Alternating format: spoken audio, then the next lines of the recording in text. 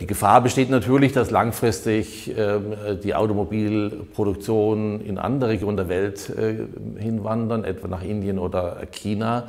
Das ist aber erst dann eine Gefahr, wenn tatsächlich das Qualitätssegment ähm, im, im, im, im Automobilmarkt nun unter Bedrohung wäre. Das sehen wir demnächst noch nicht.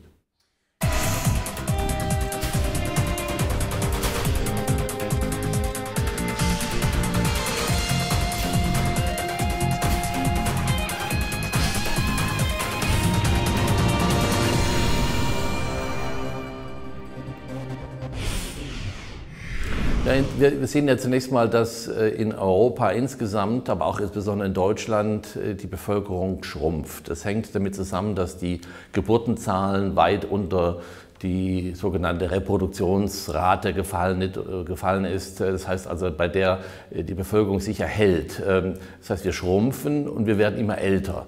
Die Arbeitsmärkte werden immer kleiner und deswegen kommt es dazu, dass wir immer weniger Menschen haben, äh, die äh, eben Arbeit äh, durchführen können. Das heißt, wir brauchen immer mehr Menschen zunächst mal grundsätzlich. Zum anderen ist die Arbeitsnachfrage immer stärker auf Fachkräfte hingezogen. Einfache Arbeit ist nicht mehr erwünscht. Das heißt, wir sehen eine Spaltung des Arbeitsmarktes mit hohem Fachkräftemangel überall in Europa, aber auch überall in der Welt. Wir haben das in Amerika, in China, in Australien auch.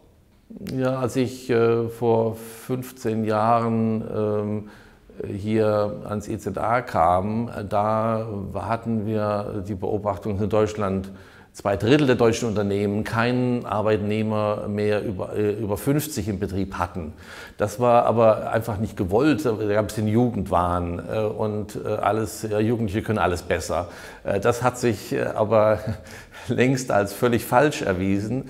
Äh, ältere Menschen sind durchaus äh, nicht weniger leistungsfähig, nicht viel weniger, aber äh, bestenfalls bei manuellen Tätigkeiten.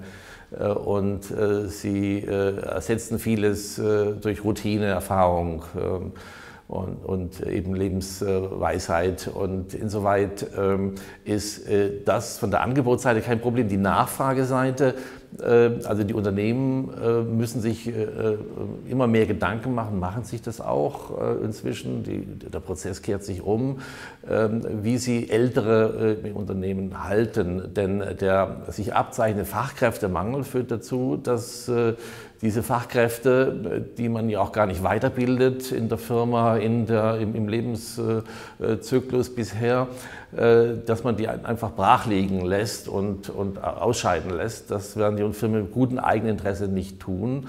Und wir sehen, dass äh, selbst in Deutschland, wo wir äh, über Jahre eine Politik der Frühverrentung hatten, äh, diese, diese Prozesse im erheblichen, erheblichen Veränderung sind. Und wenn wir europaweit rumschauen, ist die Arbeitsmöglichkeit für Ältere überall nicht bloß äh, viel, viel besser als in Deutschland, auch in Holland, sondern auch im Steigen äh, begriffen. Also es findet überall der gleiche Prozess statt.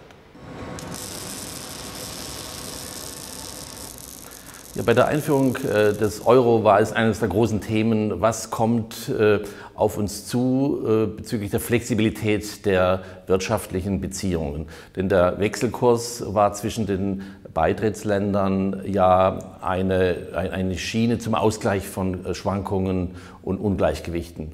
Und da war die Auffassung, dass insbesondere der Arbeitsmarkt eine besondere Rolle äh, durchführen muss. Er muss ausgleichen, was an starren Wechselkursen äh, nun dann de facto vorhanden war. Und deshalb hat auch die EU-Kommission mehrfach versucht zu erforschen, wie man äh, die äh, Mobilität der europäischen äh, Euro-Staaten ähm, erhöhen kann. Leider muss man sagen, sind die Europäer sehr unwillig zu, zu wandern und das ist schade.